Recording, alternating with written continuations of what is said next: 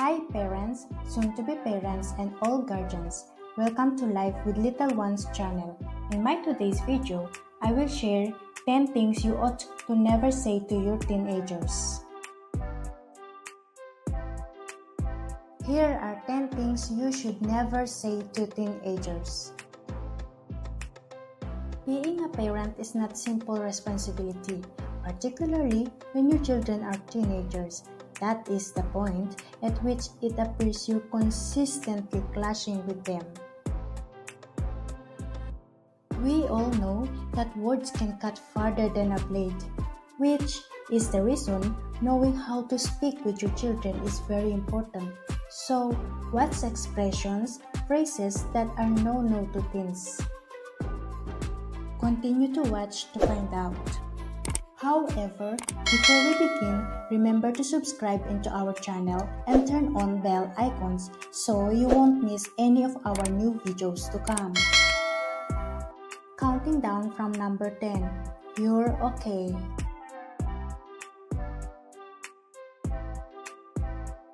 On the off chance that your teenager is irritated about something, whether their crush did not notice them or are misunderstood with their best friend, you shouldn't not simply let them know that they are okay. As indicated by Dr. Jen, a psychotherapist and author of the A to Z book Guide for Raising a Happy and Confident Kids, this sort of reaction from you will just make the situation more worse. Sure, your little high school issues may appear to be inconsequential to you, just like you adults with bills and obligations. However, you should remember yourself at this age. Your child isn't okay. They need your help to get through these pessimistic feelings. So, be there to comfort in times of need. Pay attention to their feelings more. Recognize their sentiments. In this way, they will not be scared to come to you again if something terrible happens to them. They will know that you will continuously give them the help they need. They will be comfortable to tell you their personal problems. Number 9. I'm so fat. Yes, admit or not, we get disappointed with ourselves some of the time. Whether you called yourself fat, ugly duckly, stupid, or insert any negative word here, you should stop this habit. Particularly if you are a parent. According to the study directed by the University of Notre, found that parents who criticize themselves in front of their youngsters can really have a big impact on their children's self-confidence.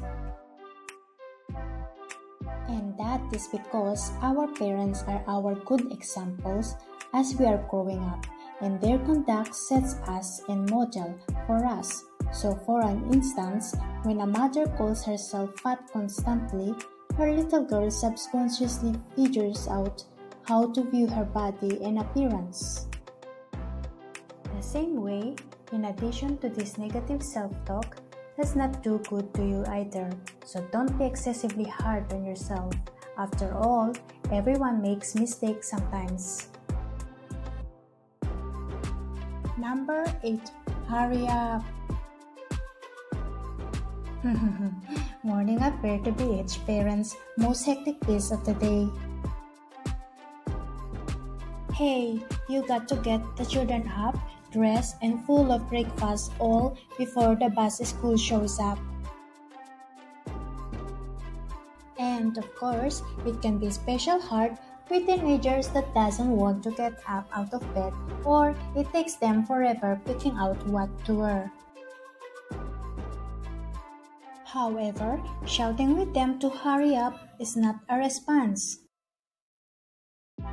Psychologist and co-creator of Child Minds, Dr. Linda Akrid Olo, says that all this hurrying simply puts unnecessary tension on your child. They don't need that before they are heading to school, where they manage significantly more issues and stress. So, as a parent, you might need to mellow it a bit and most certainly don't yell. Remind them that their morning meal is getting cold or there's very little left. Teenagers have an exceptional craving after all. Whatever you do, simply attempt to keep a positive and fun-loving energy toward the beginning of the day. Your child will, without a doubt, feel a depth of gratitude. Number 7. Don't be sad. Pre-adulthood is period of emotional roller coaster. Young people can be hyper with lots of laughter one moment and afterward crying for apparently no reason at all. And it's particularly challenging for parents to adapt when their kid is emotional. They console them by saying, Don't be sad. But Dr. Debbie Glasser, the author of Family Support Services at the Postal Carrier, Segal Institute for Youth study says that don't say these phrases don't be to your teenagers as they send the message that the children's feelings aren't substantial and that it is not alright to feel how they feel at this specific moment. If your teenager is sad or crying, sit down with them and try to help them work out through their sentiments whenever they are happy with opening up to you.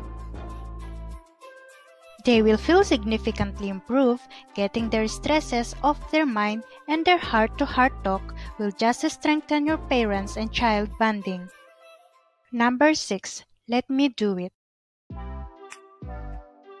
Well, it is just normal for each parent who need to help their child in the event that he or she is battling with something.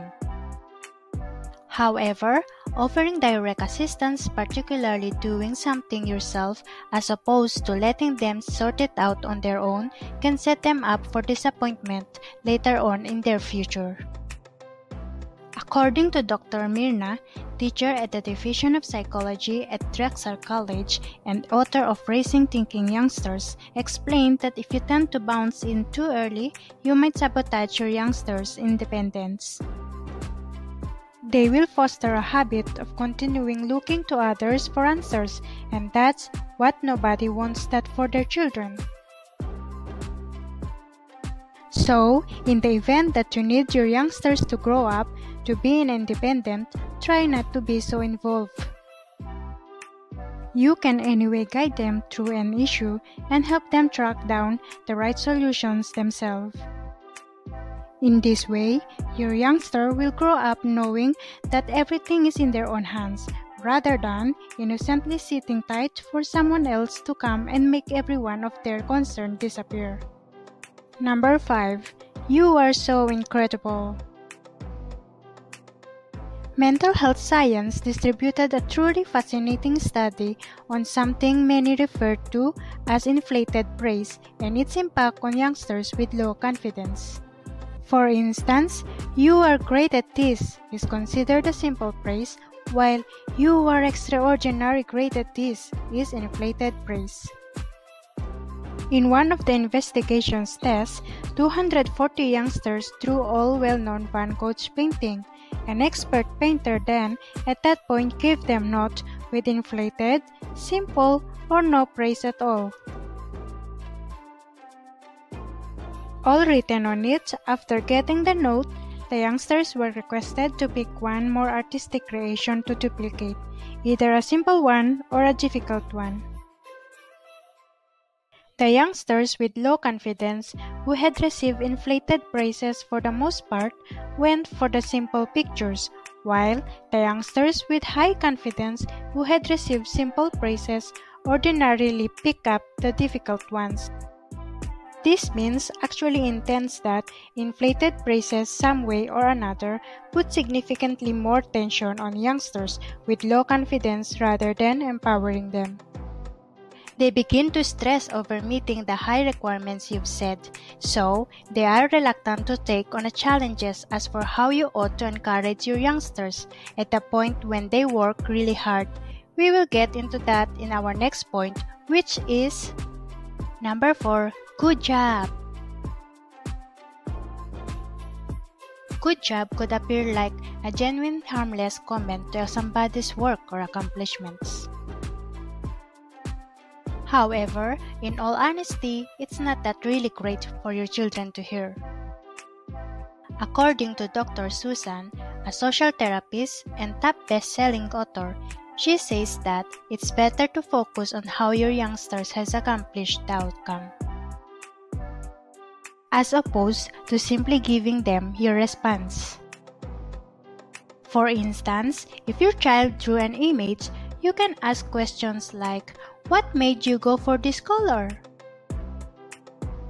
Or, What inspired you to add this part here? Getting clarification on some details and the work it took to get the outcome. It maintains the attention on our child and make them to make sense of their decisions, both of which help their self-confidence. But good job is so conventional and doesn't encourage your teenagers as much as you think.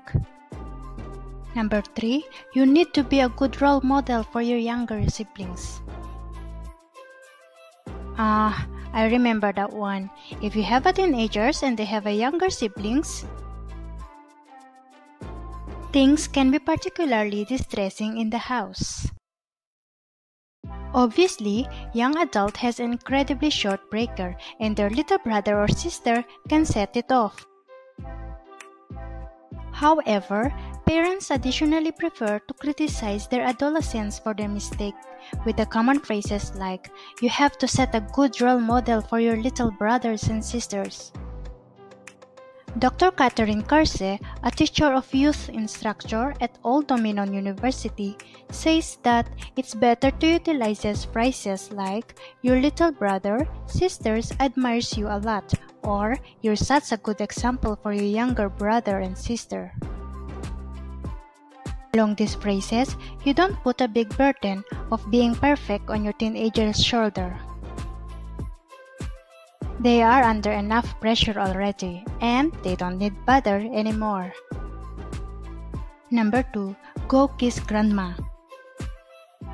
Yes, indeed, from an early age, the vast majority of us are compelled to embrace or kiss our family members, even on the off chance that we would truly prefer not to. And it's not because we don't cherish our family, it's simply that a few of us are not really comfortable with embracing and kissing individuals. As others may be and constraining your children to do. This might leave a profound subconscious feelings that they don't have absolute control over their bodies and their display of affection. According to Peter Sander, founder of the National Association for People Abused in the Childhood, warns that youngsters ought to never be compelled to do whatever makes them awkward, particularly when it comes to actual contact. So, be certain to continuously give your youngsters the decision, asking, Would you want to kiss grandma goodbye? And on the off chance that the response is no, don't push it. They can continuously do it in their own time. And number one, I am so proud of you. Ah, astonishing, isn't it? Yes, this is totally completely harmless and apparently empowering phrase. It is not generally so wonderful as you thought, as indicated by Dr. Carl Picker, a therapist and author of the book Getting Through Your Youngster's Pre-Adulthood. It is not that great idea of a plan to give your kid a blanket statement of encouragement. That is because the youngsters might begin to feel answerable for this expressed parental pride like they need to keep it up in light of the fact that it's the main way the mother or father will feel significantly better or love them. Hey, kids think a specific way, regardless of whether it is not true. So, on the off chance that you feel like it could influence your child or it already has, try to replace this phrase with, That's good for you.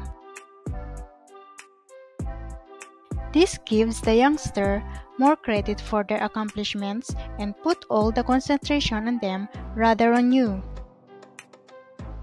After all, that is where it genuinely belongs, right? And here is a reward the phrases that will generally trigger your teenagers into negative emotions.